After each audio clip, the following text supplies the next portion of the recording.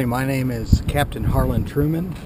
I'm a uh, instructor pilot here at uh, Sierra West Airlines. I have approximately 18,000 hours total time, a little over 8,000 hours PIC in the Metro. Hi, my name is Captain Michael Bach, and I have approximately 4,200 hours. I'm PIC typed in the Lear 35 and the Metroliner. I have 2,000 uh, PIC in the Metroliner. We're here today to show the new first officers how a proper pre-flight is done on the Metroliner. The first thing you do when you get to the aircraft is you want to open the door. You want to make sure that the handle is in the proper position. You push in here, stick out, slide it down, and make sure that you catch it as it comes down because it'll free fall. And snubber will connect and it'll lower on its own. You also want to leave the door in the open position. The reason being is that you want these bayonets to stay retracted. If you'll see, you'll open that up and the bayonets are extended. If you try to close the door with the bayonets extended, it'll damage the bayonets and you will not be able to use the door. The first thing you want to do is you want to look at this flap, you raise it up, and you look at this air tube right here. Make sure that it is not kinked or broken. The reason being is when the aircraft is pressurized, it produces a pneumatic lock in the door handle to prevent it from opening in flight. So raise the flap handle and look at your tube. The first thing we do is we go into the aircraft and grab the aircraft flight logbook. We turn to the last page and we want to look at the total time on the airplane. As Harlan just showed you, after looking in the aircraft flight logbook for the total aircraft time on the last entry, you want to find the operations manual. Usually in the first page, we will have what's called an inspection summary form, which shows which inspection is due next. Now if you notice, you look over here by aircraft time, you'll have two flight times. You want to choose the lowest flight time, aircraft time, and that will be your next inspection. And the type of inspection is to the left of the aircraft time. When you enter the cockpit, you want to look immediately to the left behind the captain's seat at the J box. You'll have three circuit breakers. One of them, the large one, is a non-essential bus. All of them must be in. Next, you want to look at your emergency controls. You want to look at the pin, make sure that it's in there and it's secure. You need to make sure that everything is in the appropriate position and stowed properly.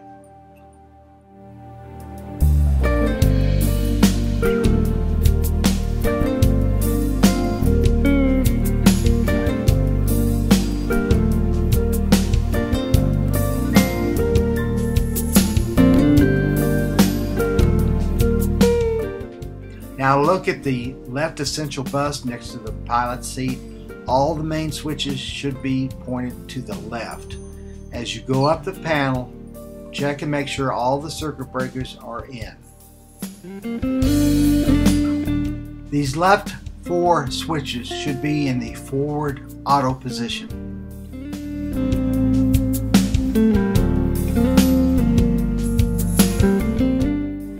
Voltage selector should be in the bus position.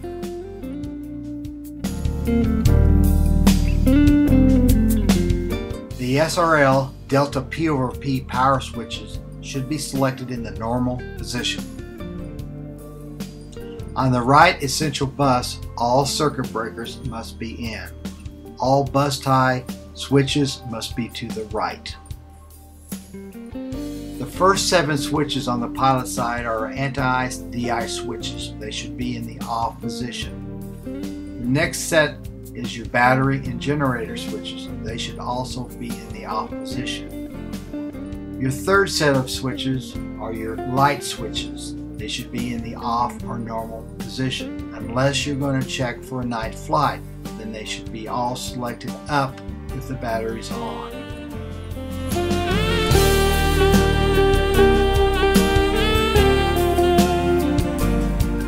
we continue down the center pedestal, we have the rudder trim and the aileron trim. Below that, we have three knife rheostat switches.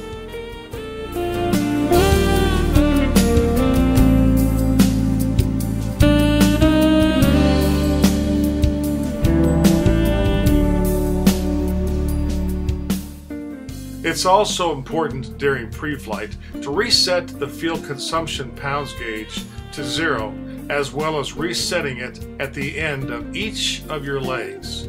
Also mark down the beginning and end Hobbs time on each leg.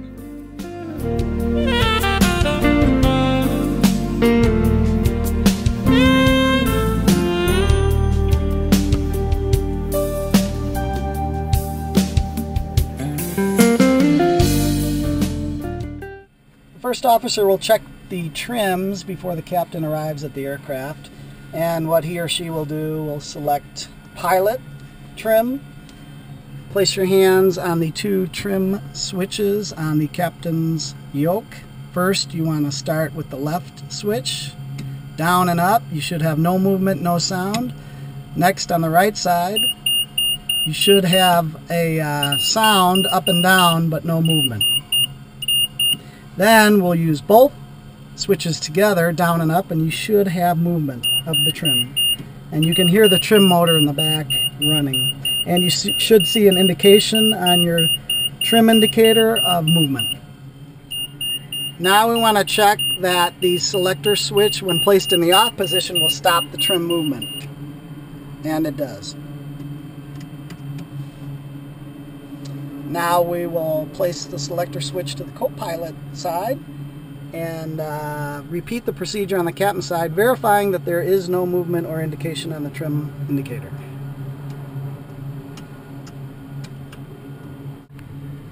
Now we will repeat the procedure we just did on the captain's yoke with the selector in the co-pilot position. Left toggle, down and up, no movement, no sound. Right toggle, down and up, sound, no movement on the trim indicator. Both switches, we hear the tone and the trim indicator is moving.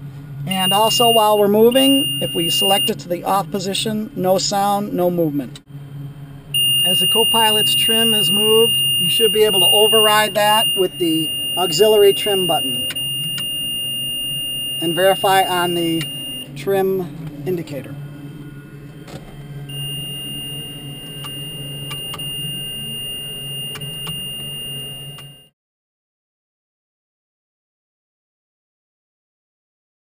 The trim indicator shows that we are out of range for the trim and as we increase our power levers we should hear a steady tone which alarms us that the trims are out of takeoff range.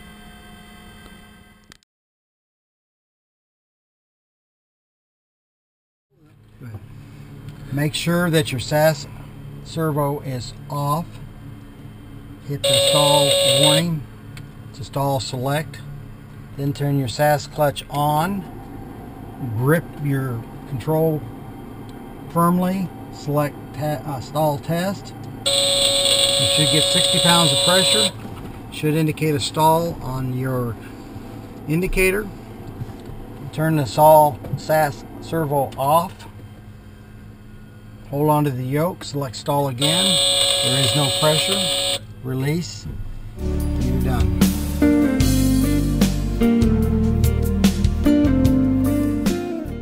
For the Kawi pump test, place the selector to the number one pump position and verify on the annunciator panel that it illuminates, indicating the pump is working.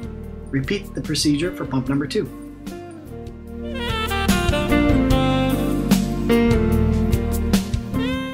When checking the electric fuel pumps, place the selectors in both the main and aux positions for the number one and number two fuel pumps, left and right.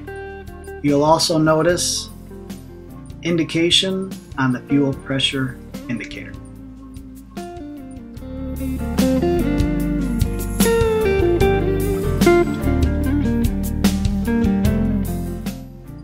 Now we'll check the number one and number two inverters. When switching from the number one to the number two inverters, we will select the off position. When the off position is selected, you will notice on the annunciator panel that both the left AC bus and right AC bus lights illuminate. The last thing you do is you want to check your O2. You select your uh, cover up, you push it in,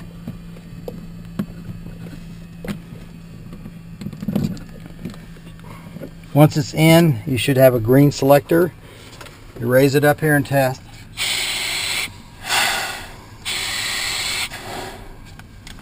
Make sure that it's working. Because these leaks, you want to go ahead and just disconnect it for the time being until it's in actual use. Make sure that the first aid kit is properly sealed and the fire extinguisher is properly charged. Now that the interior inspection is complete, we will start with the exterior inspection. Initiate your pre-flight inspection, you want to look at the wing root, look at the fairing, make sure there's no cracks, nothing is missing. As you come across here, this is actually uh, on a 15,000 14.5 bird. This is not a boot. You want to look at your cooling turbine inlet and your cooling turbine exhaust and also your vent for your batteries. As you come across your uh, belt, you want to look and make sure that your halon pressure as it as per the AFM. You have these clamshell latches here, there's three on each side. You want to make sure that they are connected properly, otherwise this will open in flight. Make sure this is in all the way as you close it and it does click. An easy way to check it is just tap it. If they are loose, they will pop open. As you come across to the front of the engine, you have these intake plugs. You want to remove them carefully. Note that it overhangs on the prop. The reason that is, is because if you accidentally leave the plugs in and you start the engine, when the prop turns, it'll pull the plugs out. One of the first things you want to look at is the air intake into the engine. As you look into the engine, you want to look at the compressor blades. Make sure that they are uh, undamaged. You can actually rotate the aircraft uh, propeller about a quarter turn and you can uh, see most of the blades. Also, you want to make sure that your Cowie uh, tubes are unobstructed and you want to look at your P2 T2 sensor make sure it is undamaged and make sure that your intake is clear now remember when you rotate the blade to inspect it make sure that you rotate it in the direction of the boots. The reason being is your generator brushes when you rotate it backwards will damage the brushes on your starter generator. So make sure you turn it in the direct natural direction that it should flow. While you're walking around the engine nacelle, you want to check and make sure these latches are in uh, proper position. Check to make sure they're not loose. All you have to do is just tap on it. If they're loose and they're not connected properly, they will pop open on you. There's a little hook inside. It latches on and then it secures the nacelle cover from popping open in flight. Next thing you want to look at is your engine oil. If you have a uh, utility tool like this with a Phillips head, it's very easy to access this. Just give it a half turn, it pops out, it's spring loaded. This is your filler cap for your oil. Most often you will not need any oil.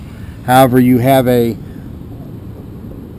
clear glass sight picture with a ball inside and it should be full.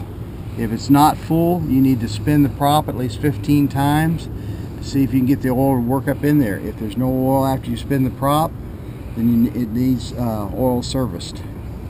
To close it, you do the reverse. Just go ahead and pop your screws in with a half turn.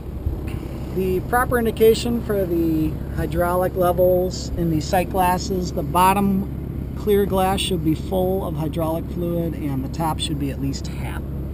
Above that is where our mechanics service our hydraulic fluid. You don't need to worry about that, make sure it's closed. Check the wing inspection light, make sure it's not cracked, all the screws are in. Now we're looking at the boot.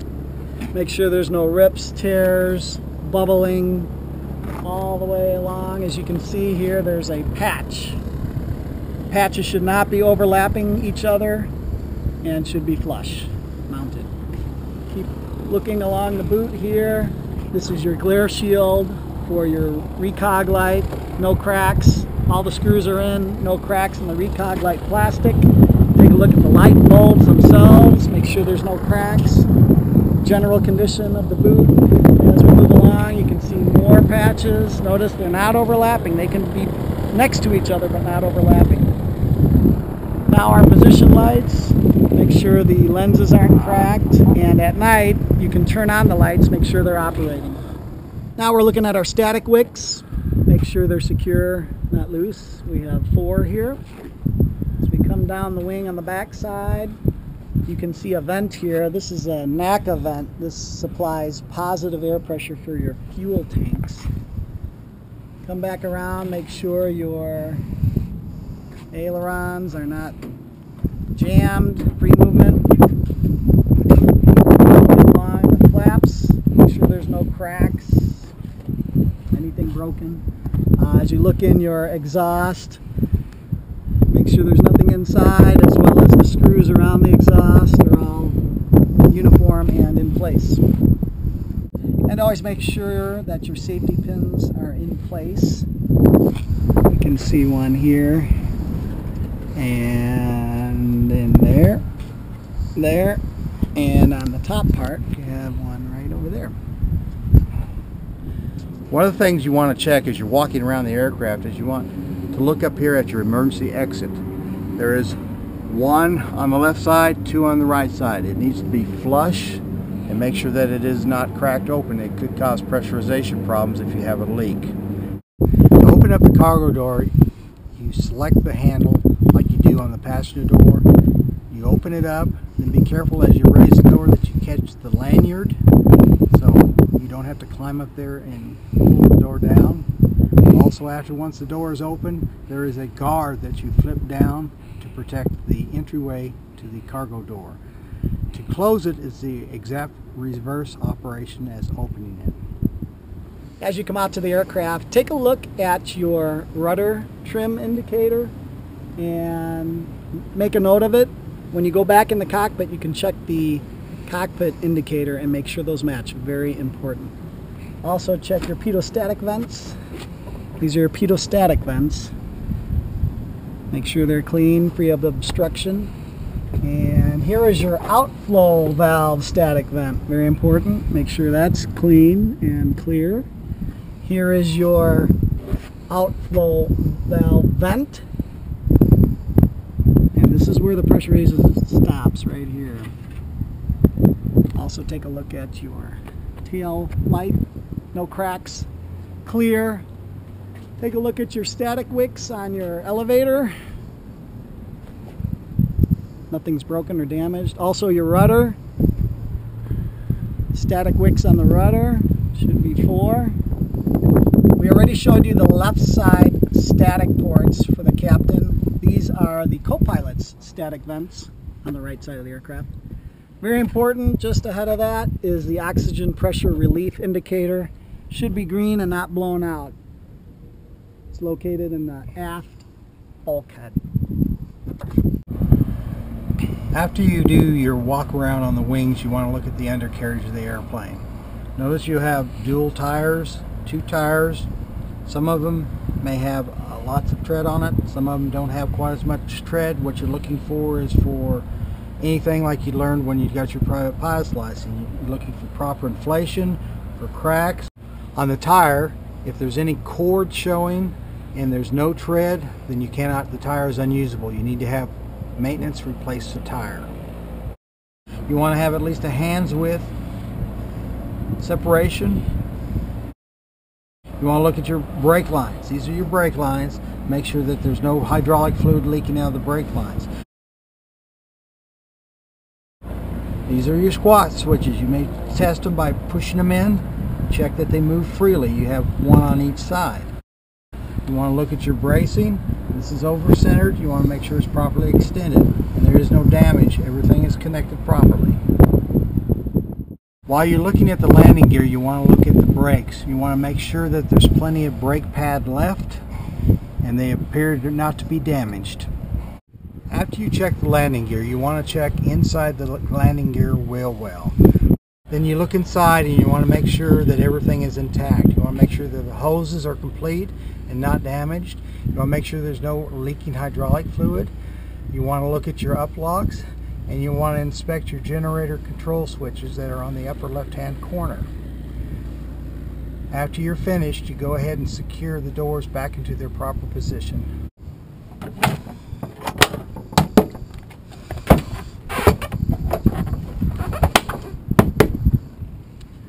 One other thing you want to check is where your GPU plugs in. You want to make sure that there's no damage to it. There are two locations. One's on the side of the right engine nacelle and the other is underneath the wing, right side root under the fuselage. Now we're looking at the pressurization static vents. Make sure they're clean.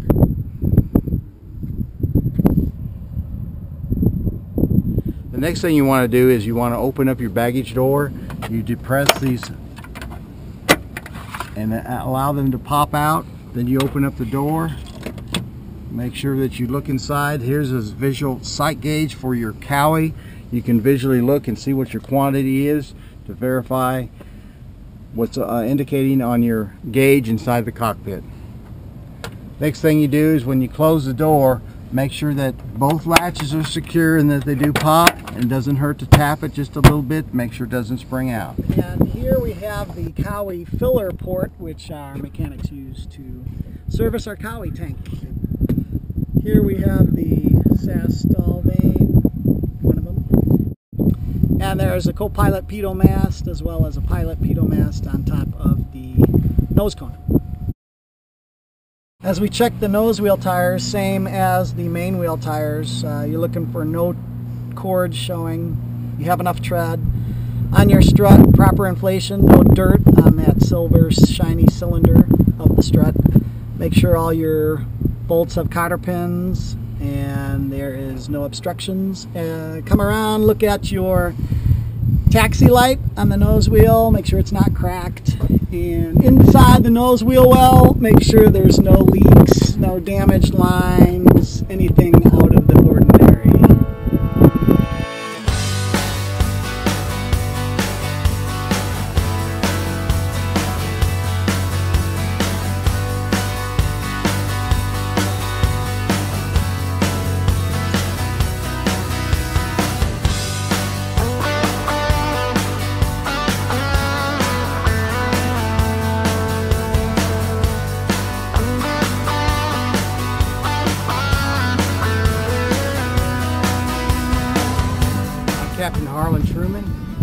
hope you've enjoyed this instruction on uh, proper pre-flight inspection.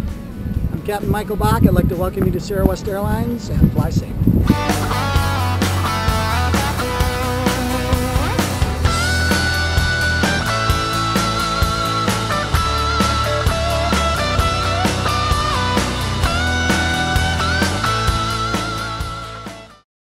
Here are your outtakes. Here are your outtakes. Especially with this guy. Power levers, actuate them. Check for the freedom of travel of the power levers. Hold on a second. We turn to the last page and we want to look at the total time on the airplane. Cut. What are you pointing at? your name. Now that we've completed the interior inspection of the cockpit, we'll proceed outside and do our exterior inspection Expansion? And at night, first officers should turn on the masters and check all the lights, including your position lights, your strobes, wing inspection light, your landing lights, and your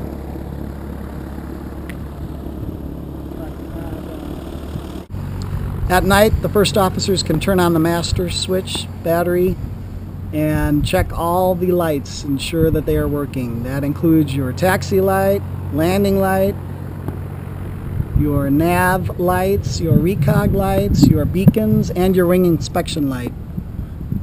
Forgot the strobe.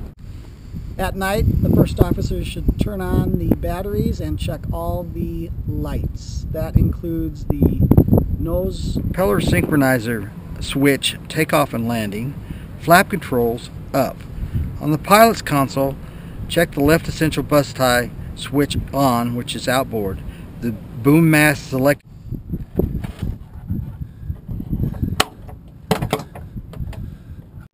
Go ahead. Take a look at the nose wheel landing light. Ah, taxi light. Ah. Next we'll look at Nose wheel steering switch should be off. SAS test switch should be off. Unfeather test switch centered. SRL delta P over P test switch normal. Temp limiter test switch centered. You're looking for proper inflation, or cracks. If it is showing uh, tread anywhere on the wheel, it is unsafe. So make sure that you can see as much as possible. Make sure there's no tread. You want to look at your brake line. SAS test quest test.